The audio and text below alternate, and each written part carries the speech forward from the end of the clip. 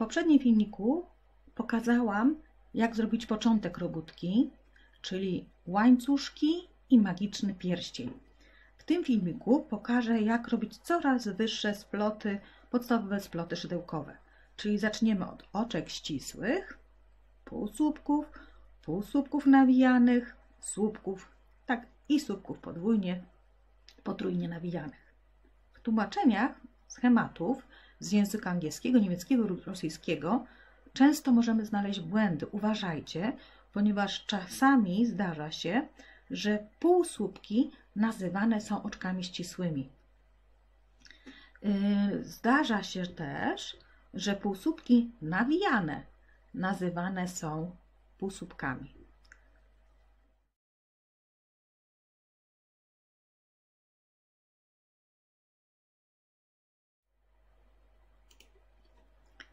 Te błędy tłumaczeń wynikają być może z takiego troszeczkę bałaganu w nazewnictwie, dlatego że y, na przykład w języku rosyjskim nasze półsłupki nazywane, nazywane są stołpik bez nakida, a nasze półsłupki nawijane nazywane są paustopik, czyli mm, y, czasami paustopik z nakidem, ale często sam paustopik.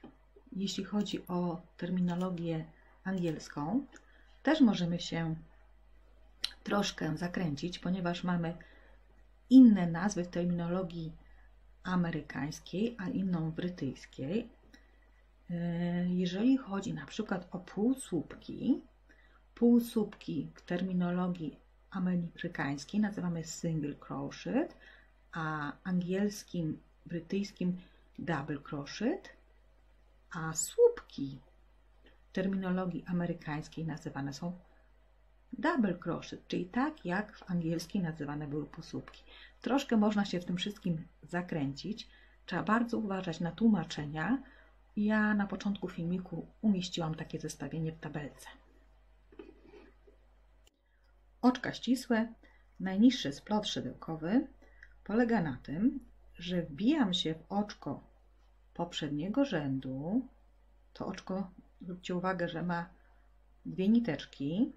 Przeciągam przez to oczko i od razu przeciągam przez oczko mojego nowego rzędu.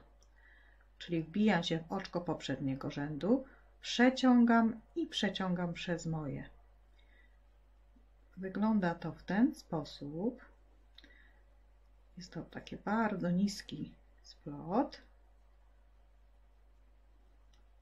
Jakby taki powstaje taki łańcuszek z przodu mojej robótki.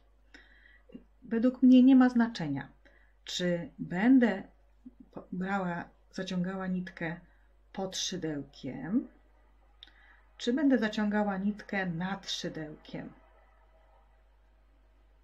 Pokażę teraz nad szydełkiem i same ocencie, czy jest jakaś różnica.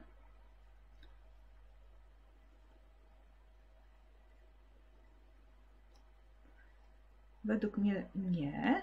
Natomiast już w kolejnym półsłupkach będzie miało to znaczenie. Kiedy używamy takiego oczka ścisłego? Właśnie, żeby zakończyć jaką, jakąś robótkę, żeby na przykład zrobić jakiś paseczek na, na przedniej nitce, którą zostawiłam w poprzednim rzędzie. W poprzednim rzędzie zostawiłam przednią nitkę, robiłam tylko za tylnią nitkę i na tym właśnie zrobiłam akuratnie tej mojej lalce taki pasek oczkami ścisłymi. Często używamy oczek ścisłych, żeby zakończyć okrążenie, jeżeli nie robimy spiralnie. Czyli jak już zakończam okrążenie, dochodzę do końca normalnie, półsłupkami zakończam, to tutaj wbijam się w pierwsze oczko rzędu i zakończam oczkiem ścisłym. Najczęściej potem podnoszę się do następnego rzędu oczkiem łańcuszka. Półsłupki krzyżykowe które mają taki kształt krzyżyka, uzyskujemy albo robiąc dwa razy nitka pod, często spotykamy się z takimi oznaczeniami angielskimi Jan under, Jan under, albo metodą mieszaną Jan under, Jan over. Czyli włóczka. Pierw pokażę ten pierwszy sposób. Wbijam się w oczko poprzedniego słupka, poprzedniego rzędu i nitka pod szydełkiem i nitka pod szydełkiem. Nitka pod szydełkiem, nitka pod szydełkiem. Nitka pod szydełkiem, nitka pod szydełkiem. Nitka pod szydełkiem, nitka pod szydełkiem. Yy, powstają takie półsłupki krzyżykowe. Ja osobiście wolę ten sposób mieszany. Czyli nitka pod szydełkiem i normalnie zaciągam nitką nad szydełkiem. Tak zwany sposób mieszany jest on troszkę mniej ścisły niż ten sposób dwa razy nitka pod szydełkiem.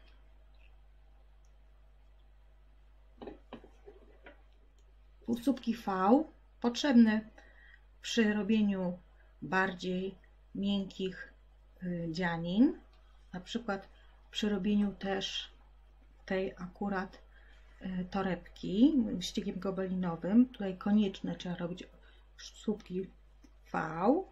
Dużo ładniej to wygląda. Y, robi się z tą różnicą, że za pierwszym razem musi być włóczka nad szydełkiem, czyli yarn over.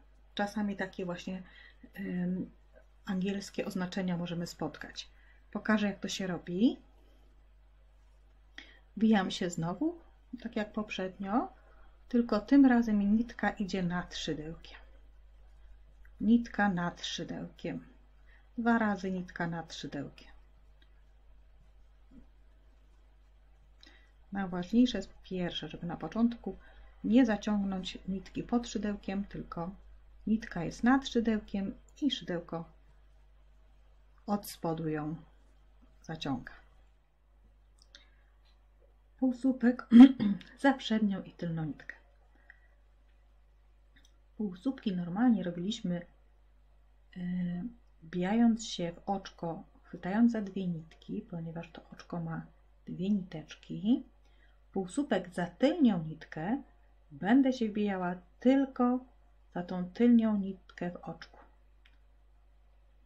I ta przednia nitka będzie mi zostawać. Wbijam się tylko za tylnią nitkę i z przodu zostaje mi ta przednia nitka. Widać ją tutaj, że ona zostaje. Natomiast gdyby trzeba było robić półsłupek za przednią nitkę odwrotnie. Wbijałabym się tylko w tą przednią nitkę. I tym razem ta tylnia nitka będzie zostawała. Z tyłu nie zrobiona. Dodawanie.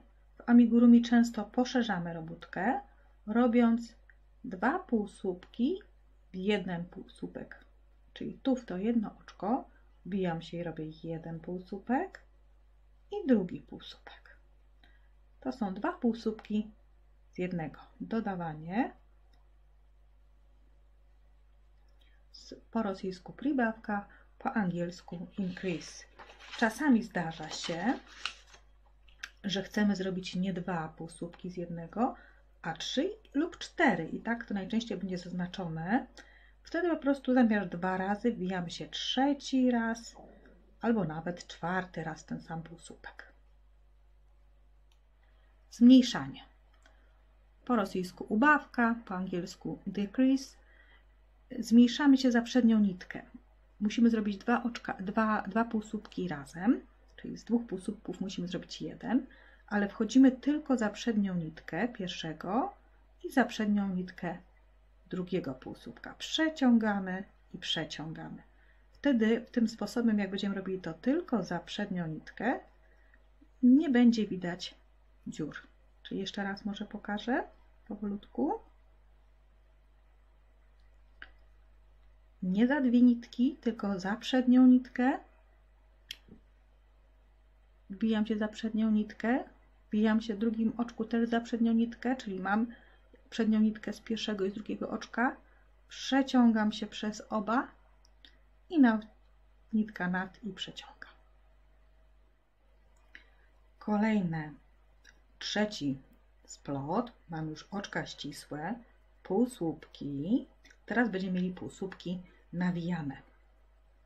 Półsłupek nawijany tym różni się już od półsłupka, że przed wbiciem się w oczko poprzedniego rzędu nawijam nitkę na szydełko, wbijam się, przeciągam nitkę już tutaj. Mam teraz trzy oczka na, na moim y, szydełku i nabieram nitkę i przeciągam przez te wszystkie trzy.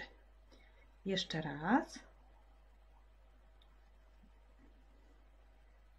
Jeszcze raz troszkę wolniej pokażę. Nabieram włóczkę na szydełko. Wbijam się w oczko. Nabieram nitkę na szydełko, przeciągam pod oczkiem. Mam teraz trzy oczka y, na szydełku. Nabieram nitkę i przeciągam.